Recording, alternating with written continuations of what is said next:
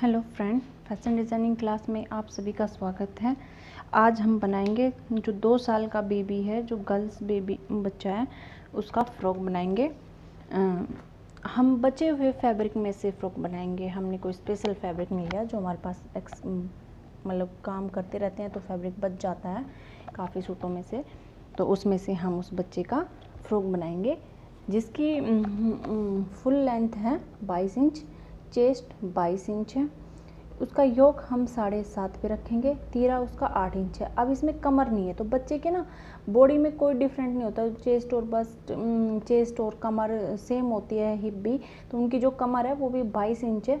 हम कमर में इनकी जो ये चेस्ट है, इसमें एक इंच प्लस करके चलेंगे। हम तेईस इंचज़ का बनाएँगे। और ऐसे ही हम लेंथ में प्लस कर लेंगे, जैसे कि हमें जब एक्रॉस बैक और ये जब हम लेंगे योग तो योग साढ़े आठ लेंगे, क्योंकि हाफ़ इंच हमारा तीरे में जाएगा और हाफ़ इंच जब हम चोली को अट, चोली और घेर को अटैच करेंगे, तब जाएगा। ऐसे ही हम इसमें भी एक इंच प्लस करेंगे, वही जब हम घेर को चोली में अटैच करेंगे तो तब जाएगा और एक इंच हमारा नीचे फोल्ड होगा। तो जो ये हमारे साढ़े सात है ना, हम इस बाईस में से माइनस करेंगे और जितना हमारा टोटल बचेगा उस वो हमारा घेर होगा माइनस करने के बाद और उसमें हम एक प्लस करेंगे। तो इस तरीके से हैं। अब हम पहले मेज़रमेंट लगा, लेते हैं। ये देखिए अब हमारे सामने क्या है कि ये भी हमारा ओपन है। इस साइड से भी ओपन है क्योंकि बचा हुआ फैब्रिक है। तो हमें ये वाला लेना है क्योंकि इसमें ये थोड़ा सा डिज़ाइन है तो ये हमारे फ्रंट में आए। इस तरीके से हम ऐसे कर लेंगे। तो जो हमारे तीरे हैं वो यहाँ से चलेंगे। वन सेंटीमीटर हम छोड़ के चलेंगे क्योंकि ये हमें इसमें पाइपिंग डाल के थोड़ा सा या कोई बटन वगैरह लगा के थोड़ा सा इसमें डिज़ाइन देना है। इस तरीके से हम इसे थोड़ा सा वन सेंटीमीटर के हिसाब से छोड़ के चलेंगे। तो हमारे तीरे हैं आठ इंच तो तीरे का हाफ़ हो गया हमारा चार इंच। तो पहले हम वन सेंटीमीटर का ऐसे निशान लगा लेते ताकि आपको देखने में परेशानी ना आए। हमें इसके उधर चलना है। और इसमें ये ये भी देखिए, इसकी जो बुट्टी की डायरेक्शन है वो दोनों साइड है तो इसमें भी हमें कोई परेशानी नहीं होगी। हम किसी तरीके से भी इसे बिछा सकते हैं। इसके बाद हम इसके तीरे लेंगे। चार इंचेस यानी हाफ़ और जो तीरे हैं, उसमें हम हाफ़ प्लस करेंगे आर्म होल लगाने के लिए। तो हम साढ़े चार लेंगे आर्म होल के लिए, इस तरीके से। अब हमारी चेस्ट बाईस है और हमने एक प्लस किया तो हमारी तेईस, यानी हम पौने छः लेंगे। और इसमें हम वन इंच मार्जिन रखेंगे। बच्चे की आर्म होल बैक या फ्रंट की कोई आवश्यकता नहीं होती है, वो सेम उनकी गोलाई होती है, इस तरीके से। हम योग लेंगे, जो योग हमारा साढ़े सात है, यहाँ पे हम साढ़े आठ लेंगे, क्योंकि हाफ़ इंच हमारा तीरे में जाएगा और हाफ़ इंच हमारा चोली में जाएगा, नीचे मतलब कि जब हम चोली को घेर से अटैच करेंगे, तब। तो ये हाफ़ हाफ़ इंच हम लेके चलेंगे। इनकी जो कमर है, वो भी तेईस इंच ही है, कोई डिफरेंट नहीं है इनकी कमर में, क्योंकि ये बेबी का है बेबी की जो कमर होती है, उनमें कोई डिफरेंट नहीं होता है, इस तरीके से। ये हमने फ्रंट का निशान लगा लिया। अब हम इसे कट कर देते हैं। ये देखिए।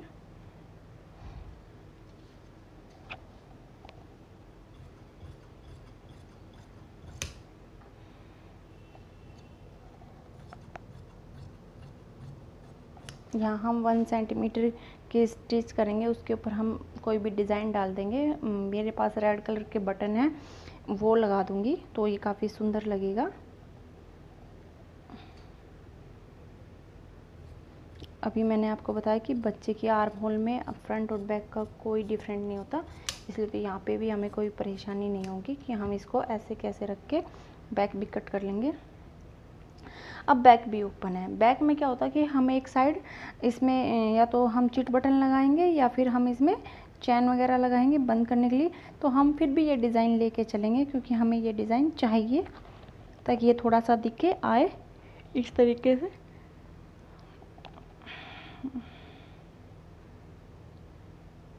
हम इसको यहाँ की बजाय यहाँ कट करेंगे, ऐसे, ताकि ये ज़रूर दिखाई दे। वहाँ पे ये दिखाई नहीं देगा, ये नेक में कट जाएगा।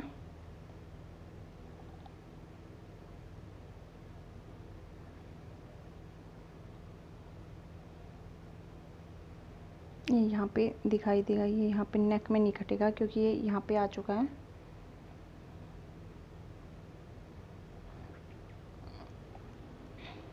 ये देखिए। अब हम इसे रख के कट करेंगे।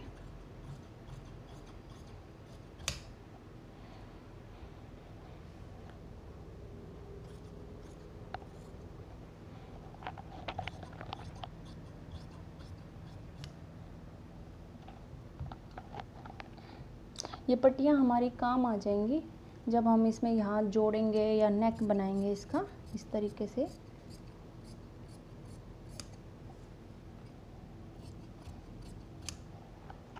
ये हमारी बैक और फ्रंट कट चुके हैं। ये देखिए।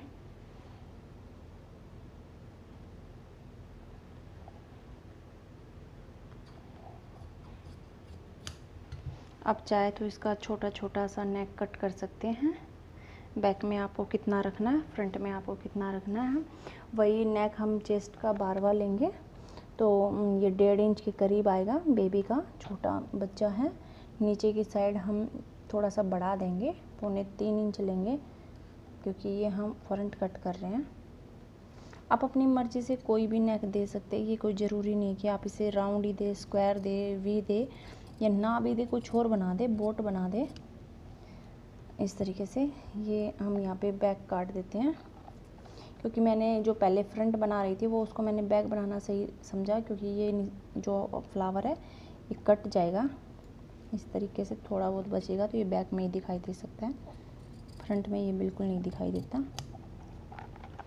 यहाँ पे हम अपनी मर्ज़ी से कुछ भी लगा लेंगे, चिट बटन या फिर चेन वगैरह, इस तरीके से। अब हमें इसकी चोली कट करनी है। जो आपके ये फिटिंग वाले जो निशान था, ये देखिए, ये आप यहाँ पे एक छोटा सा ऐसे कट लगा सकते हैं ताकि आपको ये बाद में पता रहे कि हमारी फिटिंग का है। ऐसे ही आप यहाँ पे भी लगा सकते हैं। छोटा सा कट इस तरीके से। ये हमारी चोली कट चुकी है। अब हम इसे मापेंगे कि हमारी चोली कितनी है। हमारे मेज़रमेंट से ये छः यानी बारह इंच की है और ये हमारा मार्जिन है। तो हम अब इसका एक सर्कल काटेंगे जिसे हम चोली वो घेर कहते हैं। ये हमारे पास फैब्रिक है जिसे हमने प्रेस लगा लिया है। ये भी बचा हुआ फैब्रिक है। इस तरीके से ये हमारी ओपन साइड है। एक साइड फोल्ड है तो ये कट जाएगी जब हम मेज़र करेंगे और ये हमारी बंद साइड है, जिसका हम सर्कल बनाते हैं, देखिए। यहाँ पे हमारा थोड़ा सा जोड़ आएगा। ये आप ध्यान में रखिए। यहाँ पे थोड़ा सा जोड़ आएगा, वो भी हम आपको दिखाएँगे।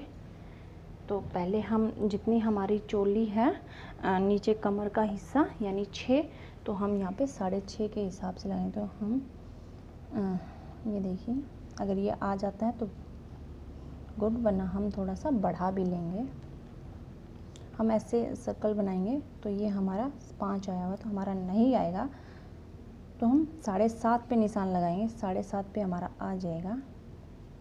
और हमें उसके बाद टोटल लेंथ लेनी है, यानी जो हमारी लेंथ बाईस इंच है, उसमें से हमें साढ़े सात इंच माइनस करनी है। चोली के। ये हमारा आ चुका है अब। तो साढ़े सात इंच माइनस करने हैं। ये देखिए, बाईस है, अब इसके बाद हम इसे तेईस इंच पे लेंगे। देखिए, हम इसे यहाँ तेईस इंच पे लेंगे। और यहाँ से ऐसे इसको बनाते हुए चले जाएँगे। जैसे भी हमारा ये सर्कल यहाँ बनेगा तो इस तरीके से हम इसे बनाएँगे। इस तरीके से। और हम यहाँ से, ये देखिए, साढ़े सात इंच माइनस करेंगे चोली का। इस तरीके से ऐसे बनाएँगे। ये हम आपको करके दिखाते हैं अब।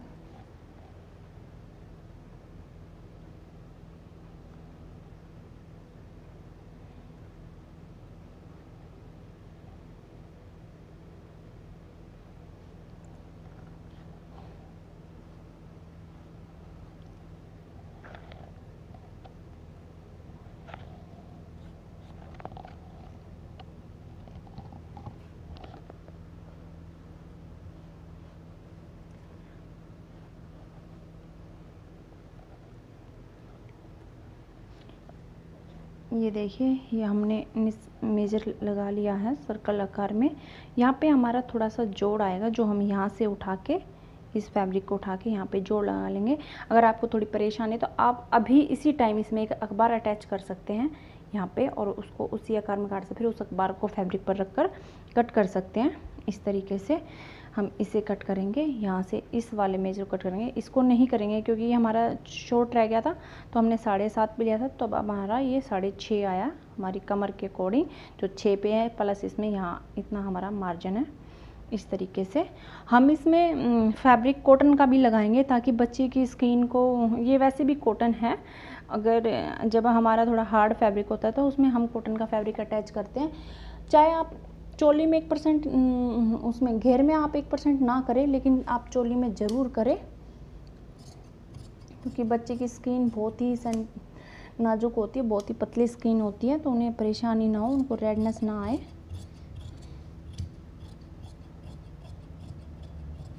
देखिए, ये हमने कट कर लिया है।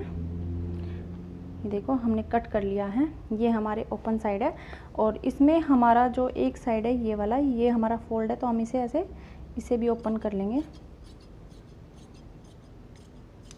ये देखिए, ये हमने इसे ओपन कर चुके हैं। अब हम यहाँ पे यहाँ पे हम जोड़ लगाएँगे, जो हमारा बच गया था, जिसे हमने कहा था कि हम यहाँ पे जोड़ लगाएँगे। तो यहाँ पे फैब्रिक रखेंगे और जोड़ेंगे।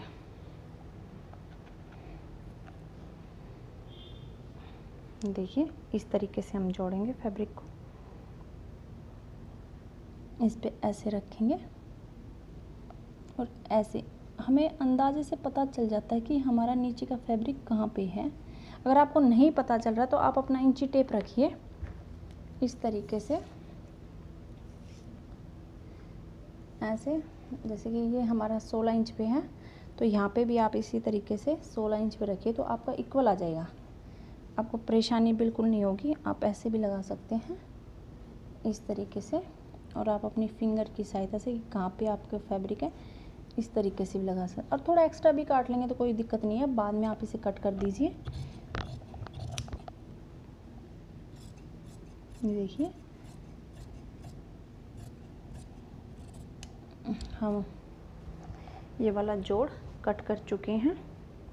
बाद में हम इसको थोड़ा सा छटाई में कर लेंगे। आप इस तरीके से उल्टे पे इस तरीके से चौक के निशान लगा लीजिए।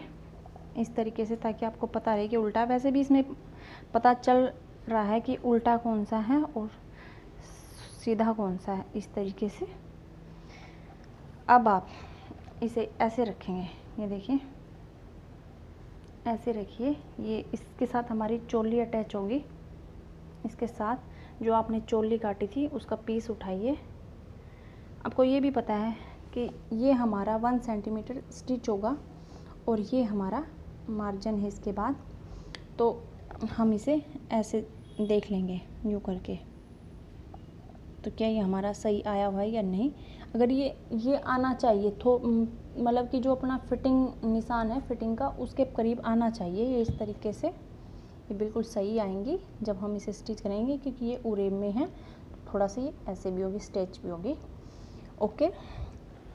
आप कोई भी इस फैब्रिक पे, ये हमारी चोली है, इस पे तो आप ज़रूर लाइनिंग का यूज़ करें बच्चे के लिए। भले ही आप इस पे ना करें, क्योंकि ये बिल्कुल कॉटन है। इसी तरीके से जैसे कि हमने ये सर्कल का घेर काटा है, हम आपको एक और दिखाते हैं कि आप ये, इस तरीके, ये भी बचा हुआ फैब्रिक है। ये थोड़ा सा मोटा फैब्रिक है, ये देखिए, थोड़ा मोटा फैब्रिक है।